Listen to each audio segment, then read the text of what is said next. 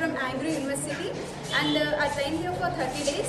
And when I came here, uh, they provided good accommodation and also good training. And here we learned about uh, various things from uh, initiation to product to everything, documentation and how to do imports and exports. And they uh, and they show everything in by practically by show by taking us to many factories and visits and yeah, very